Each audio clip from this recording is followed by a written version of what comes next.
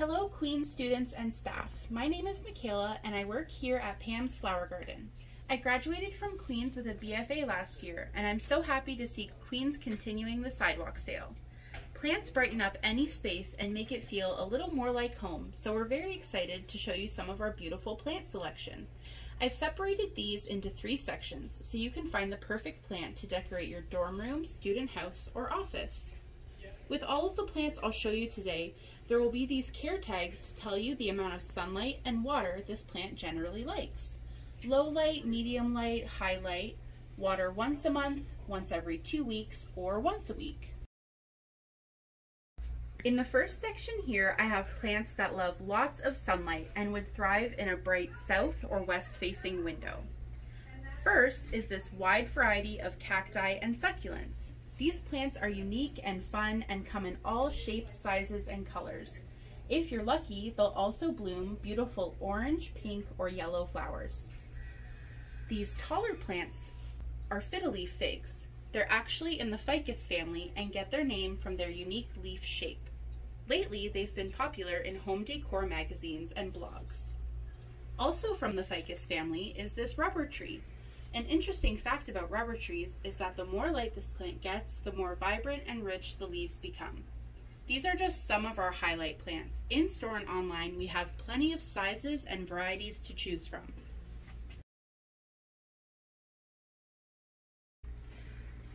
Next, we'll be showing you some medium light plants. These plants would thrive in partial sunlight, such as on a desk or table a few feet from a window. First we have these stunning Aglaonema, also known as Chinese evergreen. This plant comes in so many different variations of colors and patterns, there's definitely one to suit any space. My personal favorite is this spring snow because it reminds me of a Dalmatian. Calatheas also come in many varieties and are popular for folding their leaves up at night then opening again during the day to absorb the sun. Another medium light plant and one of our most unique plants in this store are these gorgeous Tillandsia xerographica air plants. Air plants got their name because they do not require any soil or substrate to survive. Once a week, you fill a bowl or your sink with clean room temperature water and soak the entire plant for 15 to 30 minutes. Take it out of the water, shake gently, and allow it to dry upside down before placing it back in its original display spot.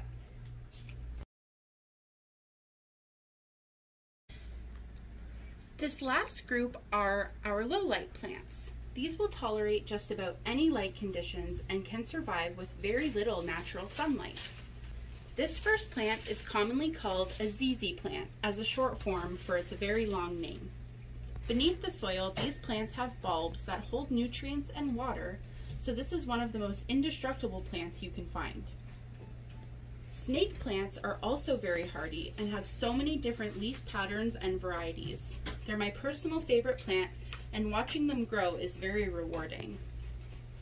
The last plants I have to show you today is this pothos and heartleaf philodendron. They're from the same family and are trailing plants. They can either be left to vine down in a hanging basket or given a branch to climb up. I loved collecting these plants to show you, and these ones are just the beginning. Our wide variety of indoor plants are available to view online.